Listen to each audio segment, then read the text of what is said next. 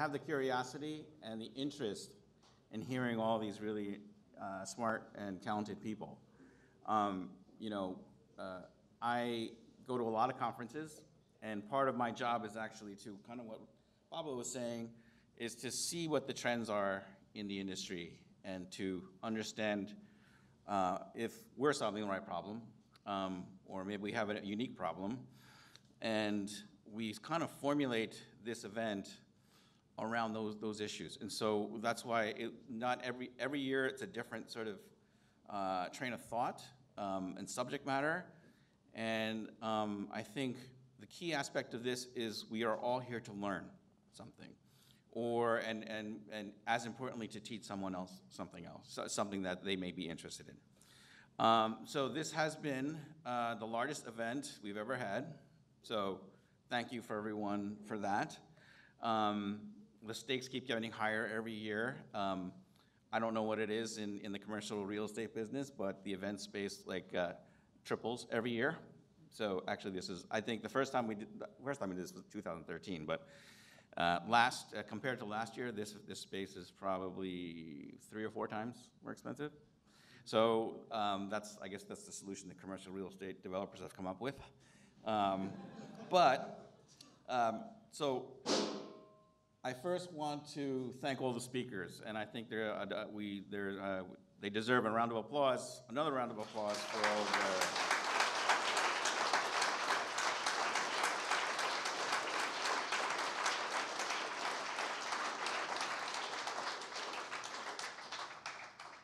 Um, and, and, you know, to be honest, we, we invite the speakers, we want to hear, we want to learn from them. And so we want to hear what they have to say.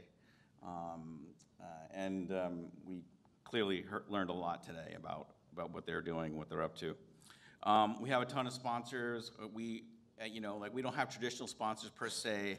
These are people who have given their time and their effort to come here to, to, um, you know, to give their, their knowledge and their talks to, to, and, and workshops, et cetera, um, uh, for this particular event. So another round of applause for these guys, too.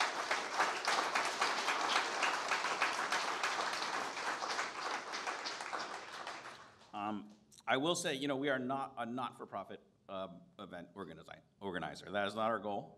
Um, We profit from everything that we learn from everybody else, and to, to meet people here and hopefully ra- raise the, the bar of, of technology and, and, and um, in the industry. Um, Huge, huge, huge thanks for, to to Dave and Giselle for organizing this entire event, start to finish.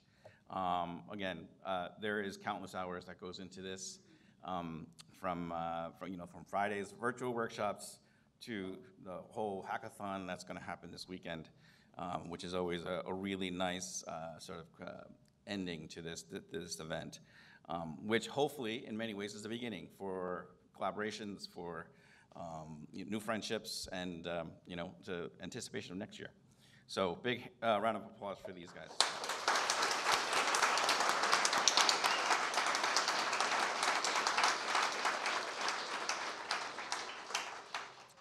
Um, So um, I want to talk a little bit about, I want to kind of end this with kind of a thread that has been interestingly and coincidentally sort of talked about here today. And, um, you know, I, the team, we've, we've coalesced a team into, uh, from, from our, all the way from our traditional sort of applications development and advanced modeling uh, to our data and knowledge team to our, our, our, our traditional BIM teams.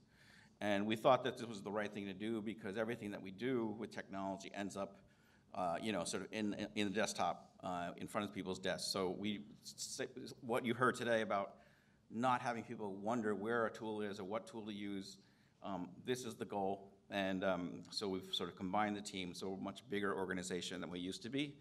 Uh, The stakes are higher, but I think the impact will be higher as well. Um, ChatGPT does a much better job of telling what Core Studio does than I do.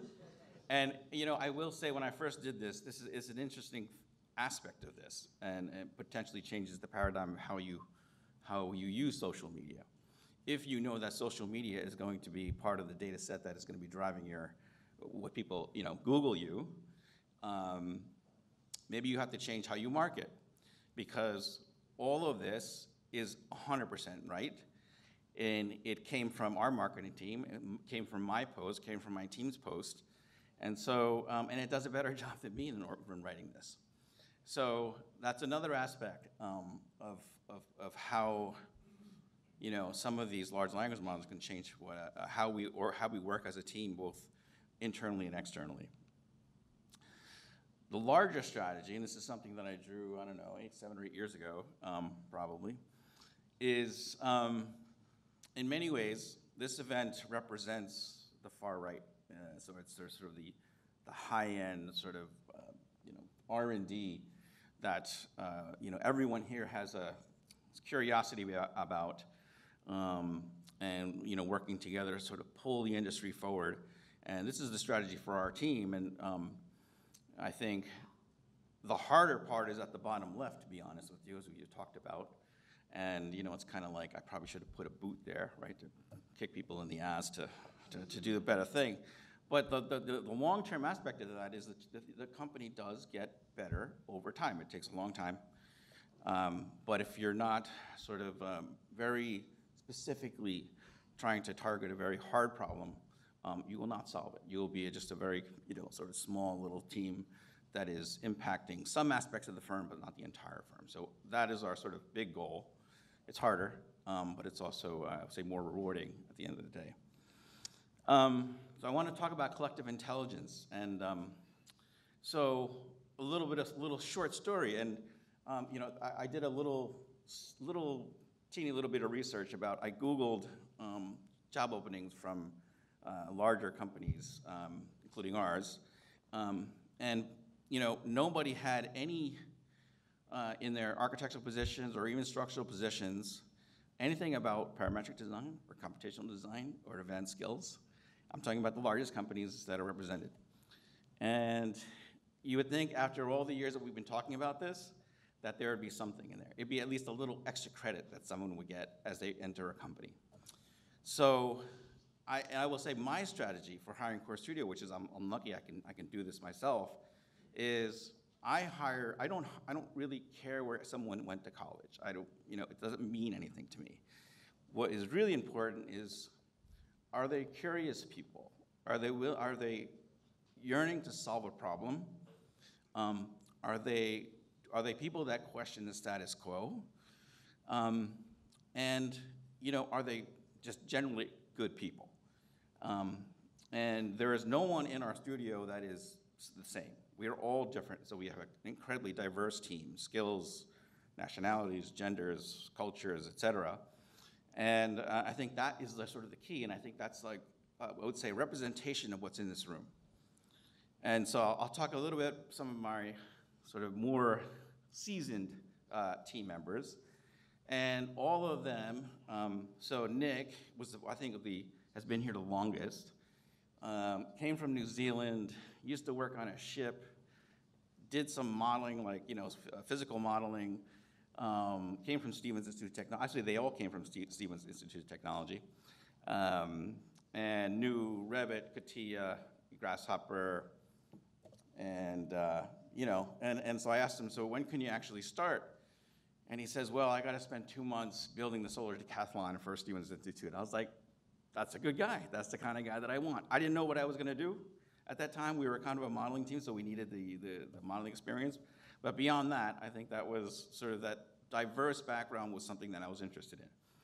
And then Ben came along. Ben was also at Stevens. Um, uh, and the reason why there's a Ste- Stevens connection, because the director of Core Studio at the time, uh, Jonathan Schumacher, used to teach at Stevens. So I was invited over there. I was at Pratt at the time. I invited to give a talk about structural, like parametric structures. And I came there with uh, Eric Thor- Thorson. Ben maybe remember this. Uh, those of you who may remember Eric Thorson, he wrote a lot of the uh, Rhino BIM back in the day. Um, so um, all I remember was Ben sitting in the background asking questions like left, left and right, back and forth. And then when he actually sent his CV, he wrote a really nice parametric little app that sort of changed the a shade, you know. Um, and I was like, that's super cool too. The configurator. Configurator was not a thing back in you know 2012 or whenever this- was. So that was again something that was, I don't care about the education. I care about the people and what they're willing to, the, problems they want to solve. Elcin came as, started as an intern, and I'll remember that she already knew interop at the time. So I think, I think you know, uh, Jonathan was teaching that in the university. And, all, and I just remember she was super fast, like everything, and just, you know, asking for more work along the way. And so, so, and she's still like, to this day, you know, the same way.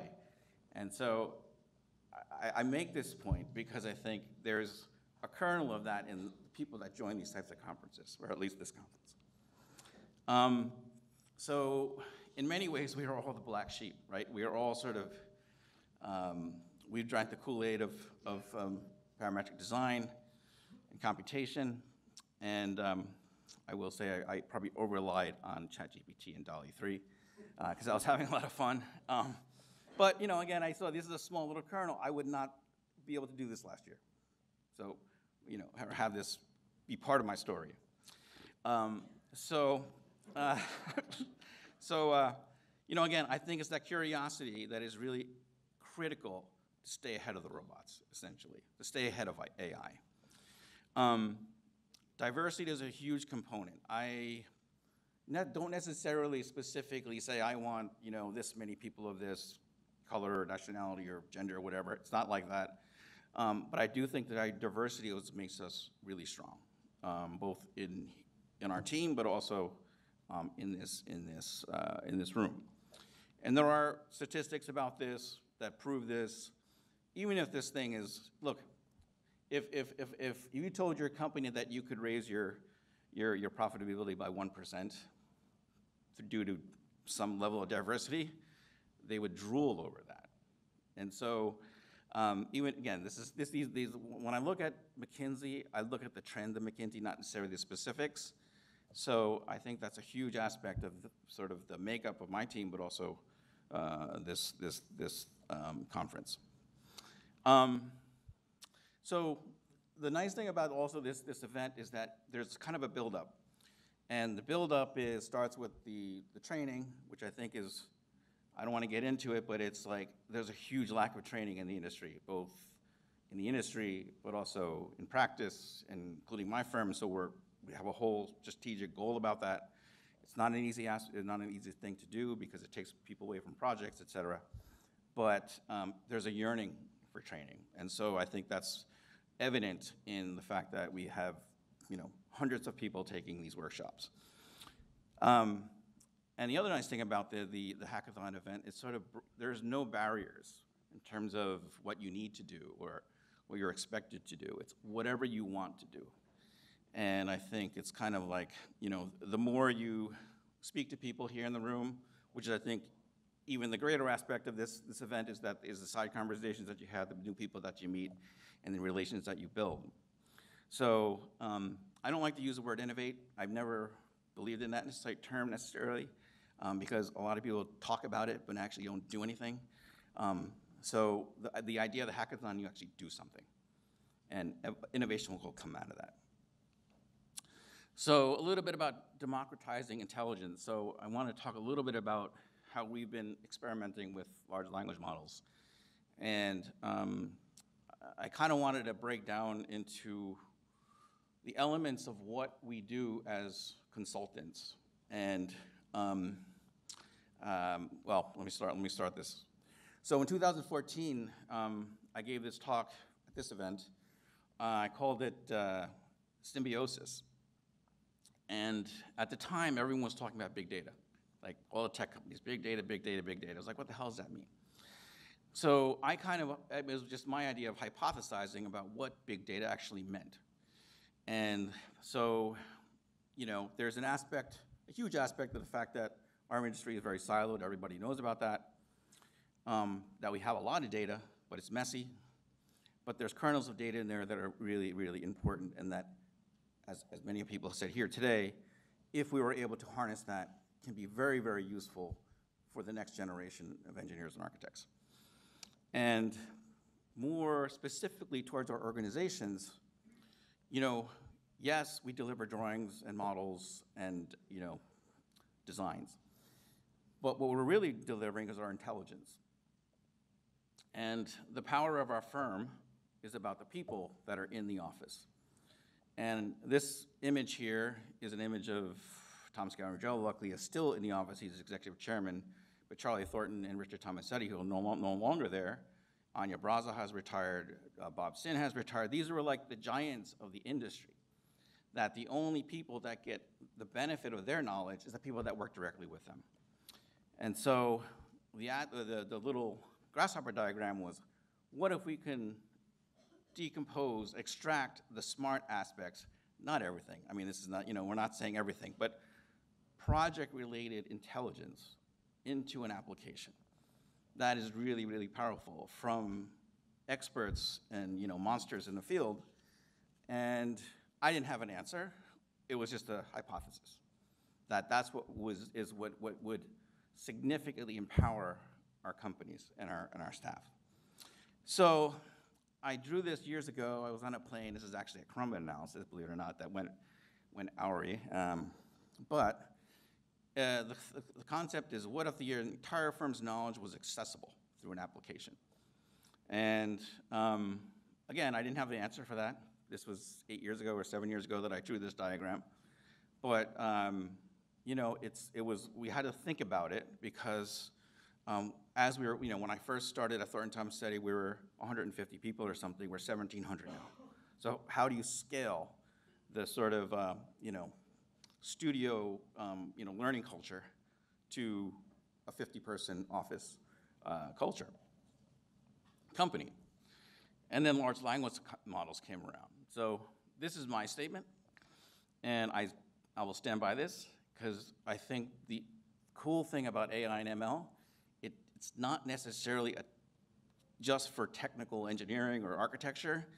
It will impact the entire aspect of the company from human resources to finance to marketing um, and beyond. And so that is significant. Uh, you know, it's going to be in Word and Excel and PowerPoint, et cetera. Um, uh, Andrew Ng goes one step further, and he says electricity. Now, of course, those firms that he's been a part of basically wouldn't have a company if it wasn't for AI. We're a little bit different. We're a little bit, we have to use our, combine AI with our inherent skills and intelligence. Um, but still, that's a big, that's a pretty significant statement. So we started playing with uh, GPT, and I'm calling it 0000 whatever one, because this is only the beginning. Um, so the first example of this is, um, uh, I will say, I'll preface it. The person asking the question um, is Sergey Pigach, so not a robot. The answer was we hooked up a voice and a, a natural language model to ChatGPT. So, um, and we pointed it to um, our internal intranet data. So 15 plus years of just, you know, uh, fairly structured actually data um, that you can ask a question. It's basically an internal resource. So I think I have to. Let's see. Is it? What's that? It's running. Okay, good.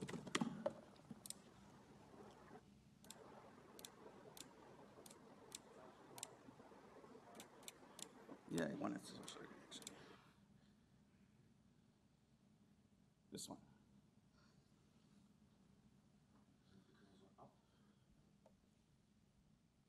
Whoa it is. Hi there. This is my first day at TT. What software do I use to fill out my timesheet? To fill out your timesheet at Thornton Tomasetti, you need to use Deltek Vision. You can access Deltek Vision by following these steps. 1. Go to Spark 2. Click the My Resources drop-down free. Click the second Deltek Vision, i.e. alternate. Link this will open Deltek Vision and you can submit your timesheet as usual. If you need help with using Deltek for the first time, you can ask your local accounting and finance representatives or reach out to the Solution Center for assistance. And what about installing software? If I need SAP, ETABS, or Rhino, whom do I ask? For assistance with installing software like SAP, ETABS, or Rhino, you should contact the Solution Center at Thornton Tomasetti. They can provide support and guidance on software installation and usage. Hey, um, so I clicked on a link in an email and my screen just turned blue. My laptop fans are in overdrive. I think this is some kind of malware. What do I do? It seems like your laptop might be experiencing a malware issue. I recommend disconnecting your device from the network or Wi-Fi immediately and contacting the Solution Center team at Thornton Tomasetti for assistance. You can reach them via phone at plus I, I not, I nixed that out because it was, it was the correct number. So I don't want everybody calling that number. Um, but, uh, but, so this was, this was the first test. And, um, uh, well, you know, this is not going to solve the world's problems. But if I were to try to Google, I'm not Google, search that within our internet, it would take a long, long time.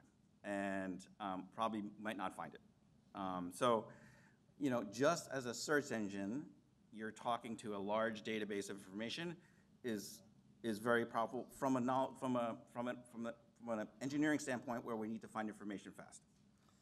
So, um, so this is, I'll, I'll just, I'll just go back here. This one, the next one is, we have a series of machine learning models, and this ha- one happens to be a, uh, truss model. Omen hooked it up so that the person, this chatbot, is talking to the machine learning model to ask it how to design a truss. So there's no, there's no voice here, by the way. So it immediately knows what the inputs are required to design that truss. So you're, you're asking a, a truss designer what it needs to design a specific truss.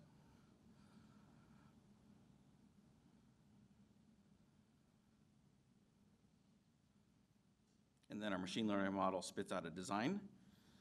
And that's the other aspect of this. You don't have to have perfect English. It kind of knows, it's learned, uh, you know, sort of the mistakes that pe- people make. Um, it knows that LL equals live load. We didn't train it that. Um, so we are speaking to our, basically one of our designers, which is pretty significant, I think. And then lastly, um, we hooked up the same engine to thousands of our PDFs of uh, what we call uh, project sheets. So um, for our marketing team to search for the, the right types of projects for a particular RFP or something, it takes a very long, long time.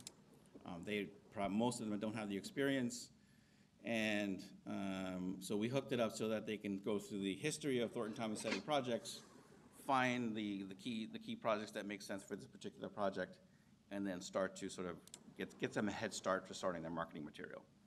The other nice thing is that the references that the materials come from uh, are also accessible as well. So I will say, we did find that ChatGPT does hallucinate sometimes. So, uh, which is not like a insignificant aspect um, for any of these large language models. So that is something that we will need to solve. I mean, it's not perfect, um, but uh, there is a it is a sort of risk reward type of thing. It's very very fast. This would take this would take someone days, um, and they may not find the right answer um, in our search in a PDF search. Um, so again, I want to thank you and applaud everyone who has, you know, spent a long day here um, going through this conference. Um, so um, it's really just a sort of food for thought about what is possible, and and you know, I I sort of encourage people to test, test, test, and test because I still think that AI and machine learning is a significant game changer for our industry.